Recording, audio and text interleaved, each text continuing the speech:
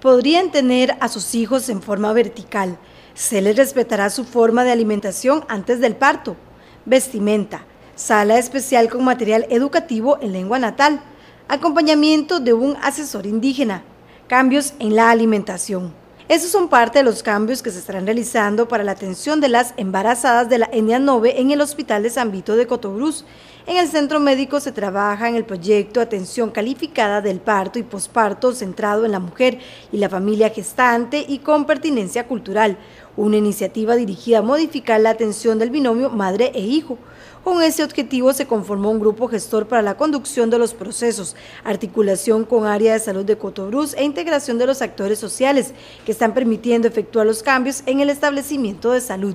Jorge Granado, director en ejercicio del centro médico, explicó que los ajustes incluyen desde el cambio de menú, toda vez que ellas no comen carne de cerdo, varias horas antes de tener a su hijo, permitirles que las acompañe su madre, pareja, partera o asesor cultural, siempre que sea en calidad de apoyo presencial y la confección de prendas de vestir al estilo Nove. Proyecto en ejecución es un proyecto que se ha denominado eh, parto con calidad eh, y con pertinencia cultural.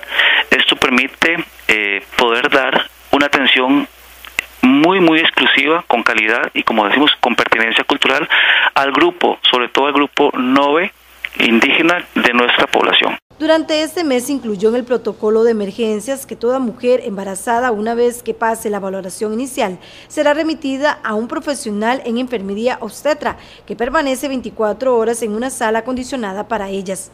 Otras modificaciones que están en marcha son atención preferencial a las embarazadas que consultan en urgencias. En conjunto, Hospital San Vito y Área de Salud de Cotobruz elaboran e implementan el plan de fortalecimiento.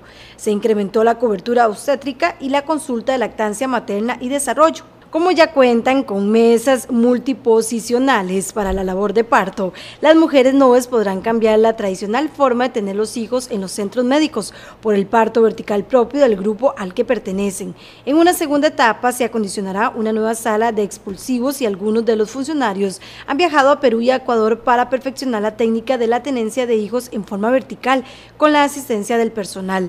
Para la realización de este cambio se tuvo un asesoramiento del Hospital Monseñor Sanabria que realizó un cambio total en la atención del parto con el propósito de adecuarlo a las necesidades planteadas por la población. Este grupo va a poder gozar de este, atenciones que se acercan a sus costumbres, permitiendo que, la, que esta experiencia sea una experiencia eh, con calidad más bien placentera para ese tipo de población y con calidad al resto de usuarias porque su atención va a ser muy pronta. El Hospital de San Vito atiende cada año un promedio de 600 partos, de los cuales el 5% son mujeres noves.